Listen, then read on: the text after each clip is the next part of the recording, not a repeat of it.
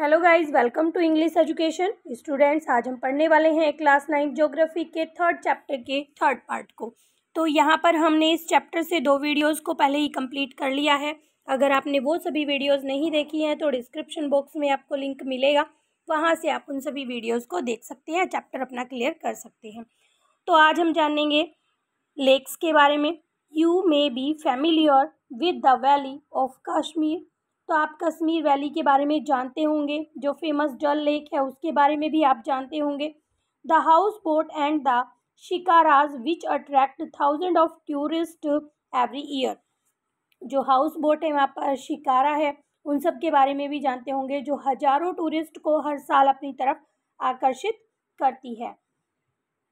You may have visited some other tourist spot near lake and enjoyed boating swimming and other water games अब ऐसी ही कुछ और tourist spot हैं। उनके बारे में भी आप जानते होंगे।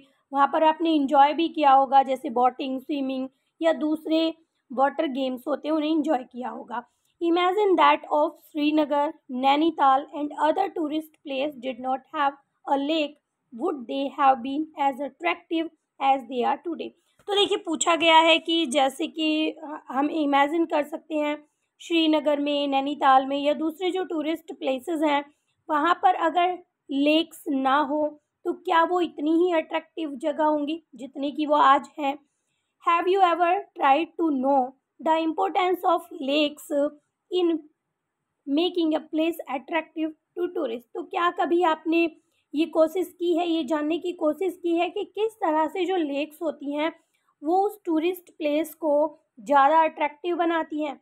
Apart from attraction of tourist lake are also useful to human beings in many ways तो देखिए, एक तरफ़ तो ये जो है टूरिस्ट को आकर्षित करती हैं, दूसरी तरफ़ जो लेक्स होती हैं, वो ह्यूमन के लिए बहुत ज़्यादा इम्पोर्टेंट होती हैं। तो अभी हम जानेंगे कि किस तरह से जो लेक्स होती हैं, वो इम्पोर्टेंट होती हैं ह्यूमंस के लिए। और किस तरह से वो फॉर्म होती हैं।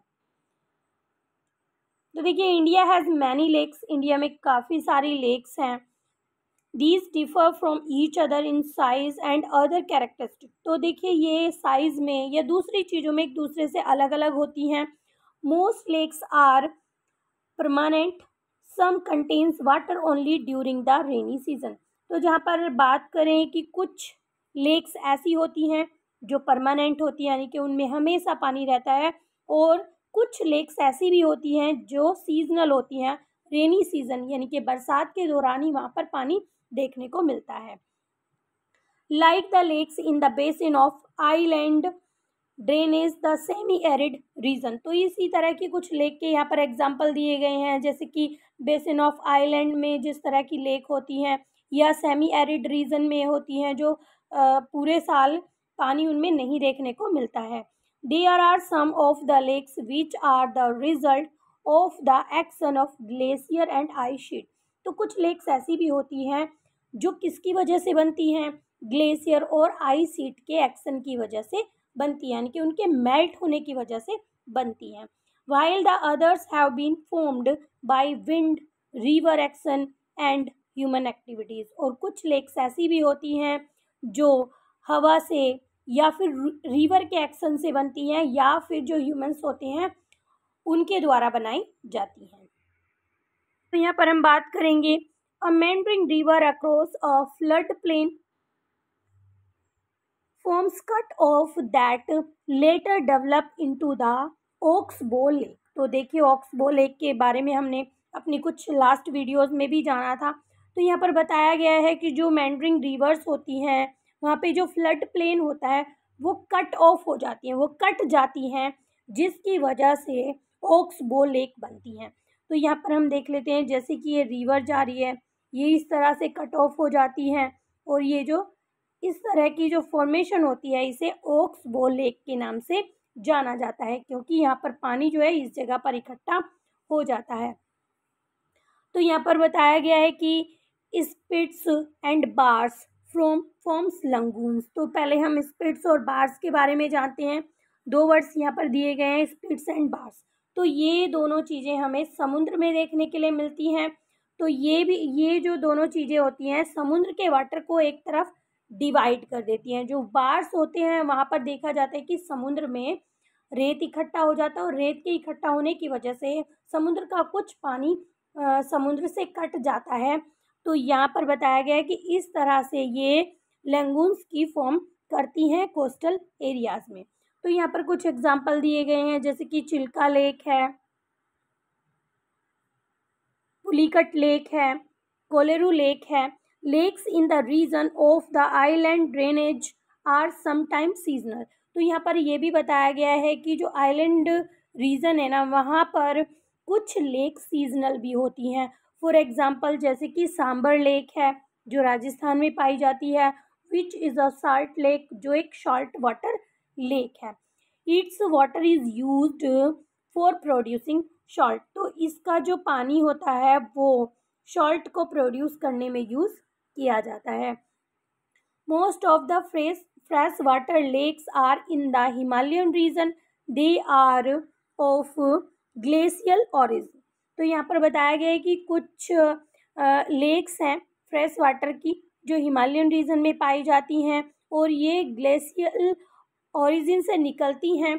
इन द अदर वर्ड्स अलग शब्दों में हम ये भी कह सकते हैं they formed when glacier dug out of basin तो ये कैसे फॉर्म करती हैं? जब ग्लेशियर जो है डग आउट हो जाते हैं और उसके बाद क्या होता है?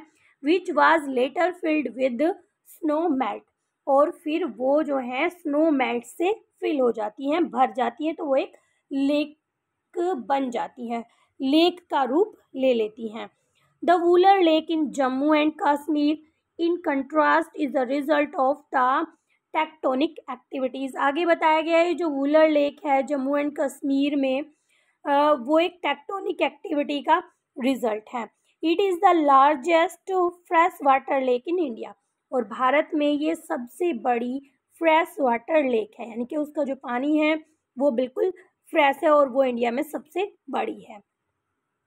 The Dal lake, Bhimtal, Nainital, Loktak and Barapani are some other important fresh water lakes. तो कुछ और इम्पोर्टेंट फ्रेश वाटर लेक के यहाँ पर नाम दिए गए हैं, जिन्हें आप याद कर सकते हैं।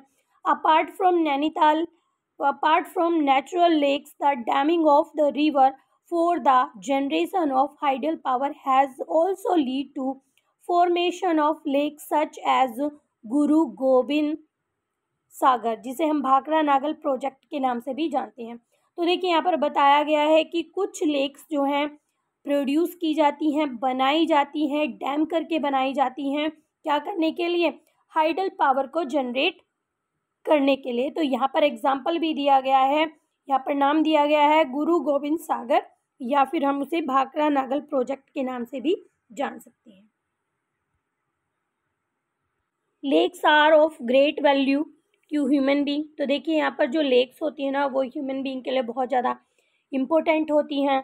A lake help to regulate the flow of river तो जो लेक होती है, वो रिवर के फ्लो को भी रेगुलेट करती हैं।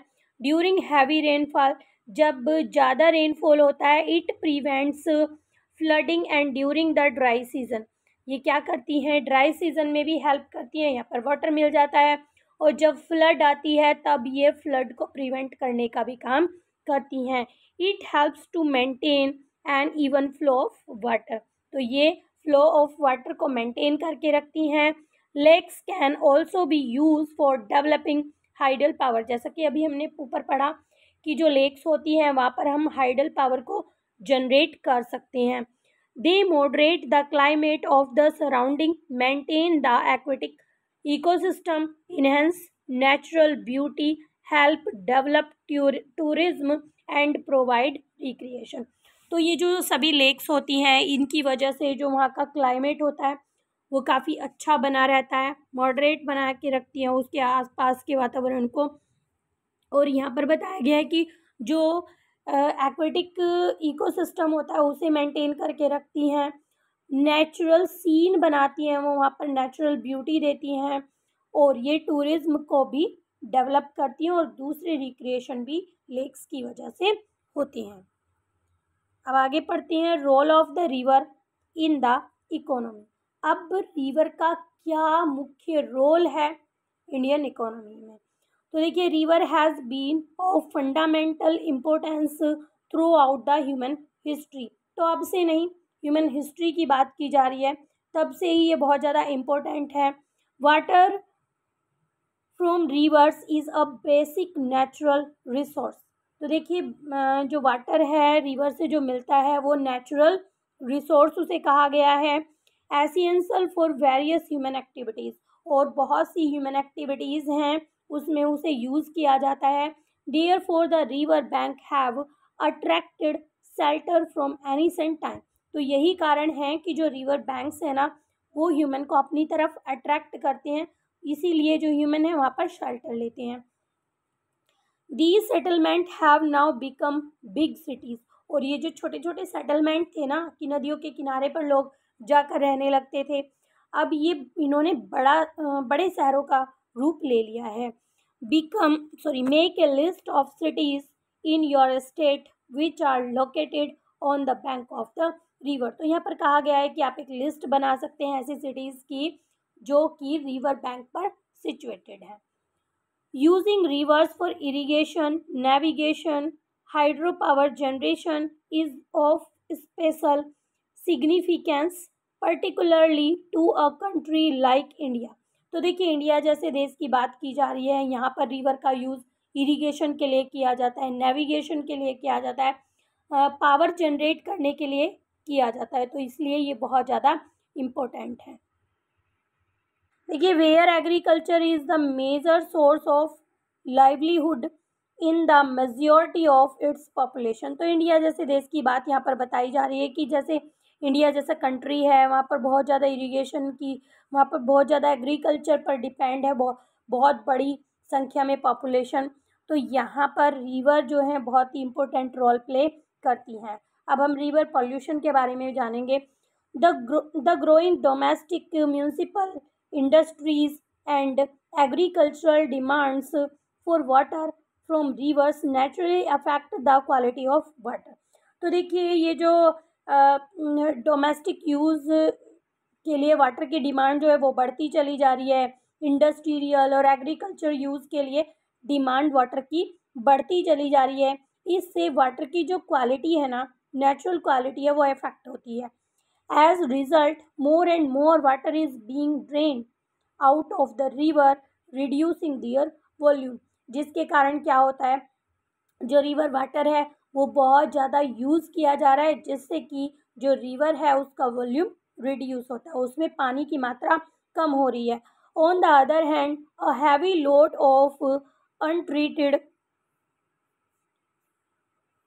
sewage and industrial effluents are emptied into the river तो देखिए क्या किया जा रहा है? यहाँ पर बताया जा रहा है कि दूसरी तरफ़ हम ये भी कह सकते हैं कि ये जो लोड बढ़ता जा रहा, चला जा रहा है ना रिवर के ऊपर कि वाटर को ट्रीट नहीं किया जाता है। ऐसे ही जो केमिकल है इंडस्ट्री से निकलते हैं, उन्हें ऐसे ही रिवर में छोड़ दिया जाता है। तो इससे जो है, बहुत ज़्यादा फ़र्क पड़ता है। This affects not only the quality of water but also the self cleansing capacity of the river तो देखिए, यहाँ पर बताया गया है कि रिवर के अंदर सेल्फ क्लिनजिंग पावर होती है।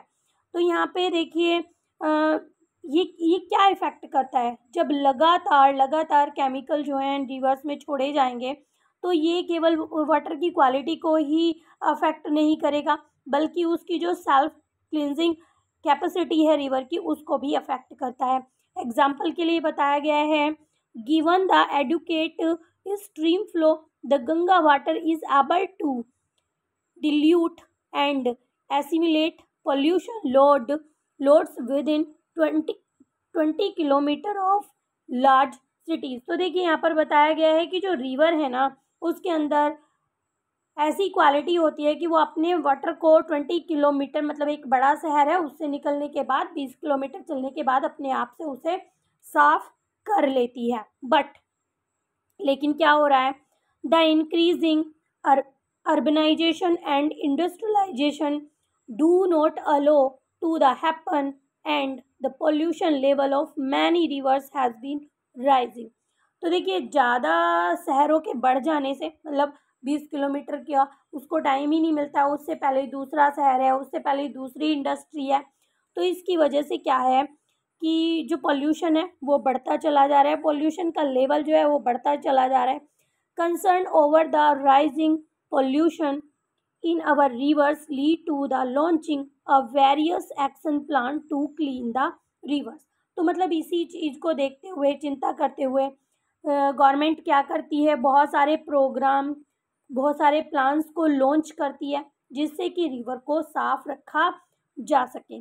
Have you heard about such action plan क्या आपने भी ऐसे किसी एक्शन प्लान के बारे में सुना है? How does our health get affected by polluted river water. और हम सोच सकते हैं कि ये जो पोल्यूटेड वाटर होता है ना, ये किस तरह से हमारी हेल्थ को अफेक्ट करता है। Think about life of human being without fresh water arrange a debate in your debate on this topic in the class तो इस बताया गया है कि इमेजिन करो, इस बारे में सोचो कि ह्यूमन बींग का जीवन कैसा होगा? अगर पानी जो है वो साफ़ नहीं होगा फ्रेश वाटर उसे नहीं मिलेगा तो ह्यूमन बींग का जीवन कैसा हो जाएगा? क्योंकि हम बहुत आ, सारी चीज़ों के लिए फ्रेश वाटर पर डिपेंड करते हैं। अगर हमें फ्रेश वाटर नहीं मिलेगा तो किस तरह का हमारा लाइफ स्टाइल होगा? किस तरह की हमारी हेल्थ होगी? तो ये चीज़ें जो है कंसर्न करने वाली हैं। इसे हमें सोचना चाहिए। और इस पर हम एक डिबेट भी अपनी क्लास में कर सकते हैं। तो इस तरह से चैप्टर होता है आपका कंप्लीट आई होप चैप्टर आपको समझ में आया होगा। अगर वीडियो आपको अच्छी लगी है तो एक लाइक ज़रूर करें। चैनल पर अगर आप पहली बार आए हैं तो चैनल को सब्सक्राइब करें और बेल आइकन को प्रेस कर लें। तो मिलते हैं नेक्स्ट वीडियो में। तब तक के लिए बाय